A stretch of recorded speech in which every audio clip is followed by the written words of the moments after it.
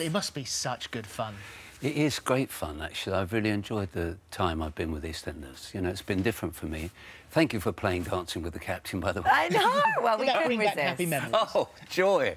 um, but uh, no, no, I've really enjoyed it. It's, uh, as you say, and I haven't really ever played a, a real nasty villain, certainly not on television, so it was a change for Well, me. he is. I mean, he is sinister, and m made more sinister by the fact that he hasn't just come in and he's been a constant. He keeps coming in and then going and coming back and Yeah. going. So you feel very uneasy with his presence. I think that's right. He's, that makes him more unpredictable, I think, and unpredictable villains are the best, I think. You're never quite sure if, they, if they're being sincere or if they're being yeah. What was he up to? Yeah, exactly. So I think that's very clever the way they've written it, and the fact that you know it allows me to, as you say, drift in and out.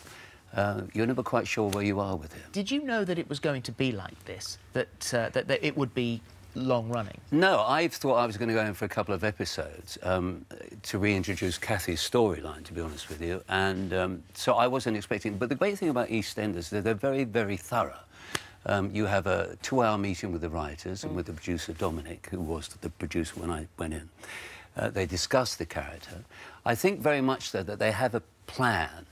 You know, they have an overall plan for the character. The great thing as the performer is you're never quite sure where it's going. Yeah. Yeah. Uh, so you know, you Quite think exciting, really. It's quite exciting and keeps you very much on your toes. And I think it's a fantastic, you know, a fantastic job for an actor. I mean, I, I wasn't in it too much, but for those actors that have to go in every day, uh, it's mm. very tiring, and they have to learn a lot of words. But it's very, very good discipline. Well, we last saw you in May when he attempted to take his grandson, and obviously Kathy thwarted that. But now he's back, and we see him tonight. Yes. And- Watch it. Oh, don't, don't, don't.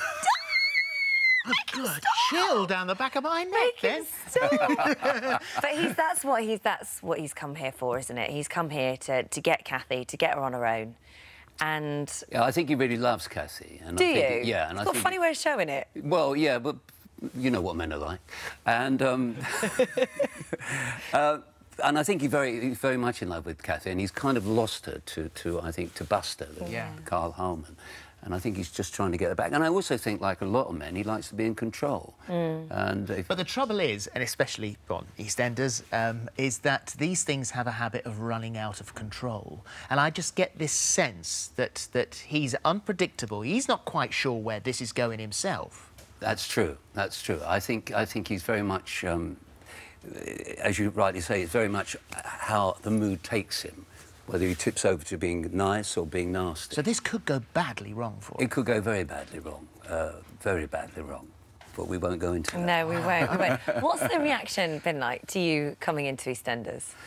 I think it's been pretty positive, actually. And as you say, you know, the fact that I haven't really ever done a, an evil character before or someone slightly, slightly off centre has been very good for me. And particularly, at, you know, my time of life, it's, it's great to have had that sort of re-energised uh, sense of a career in, in terms of what you're playing. I mean, most of the stuff I've done over the years has been quite nice people, as you say, you know, just good friends in the, in the musical. Well. I, I would have thought also, it, it- sometimes it's quite nice to go to work for a break. Have you got 12 grandchildren and, and, and one recent new great-grandchild? Yes, I have. Yes, yes, I have. Um, I don't think they watch a lot of television, my family. Do they know what you do? do, the, do the grandchildren know what you do? yeah, they do. But I mean, the thing is that I don't sort of take it home. You know what I mean? I, I just, you know, and kids like you know they've got their own lives to live, live and uh, you know they have other things to do. Christmas must be busy round Yeah, your it house. must. It is very busy, yes, but then they go away for a year. And have you, are you, have we got you for a long time in EastEnders? Because you said you were only original a few episodes. It's been I don't know. year. Uh, As I say, it's very exciting for, for, for, you- for you as an actor because you're never quite sure where they're going to go with it. And I'm not quite sure where they're going to go with it, but I know where they go with it this week, and it's worth watching. Oh, it, sound, it sounds amazing. And, and will you, would you get back into the music, do you think? Well, I'm, I'm producing shows as well, so we're taking Grease out next year again. And, yeah, uh, but you know that's not what I mean. Any Thank you so much. Uh, Thank lovely you. It's really lovely Thank to see you. For more of the same, just click here and don't forget you can subscribe for even more of these amazing videos exclusive to our channel. Is it Holby City you want to have a shot at? Oh, well Yeah, it is. Do you know what? I, I've just done this, and I, I loved all the medical terminology. I loved Did getting. Yeah, I you? loved all the hospital scenes. I loved all the gore and everything that we Oh, did. yes, Character So, would you like? I don't know. I was, I was thinking like um, a porter or something with a heart. Yeah. But with a, but, but as, as always, I play with a dark side. Oh.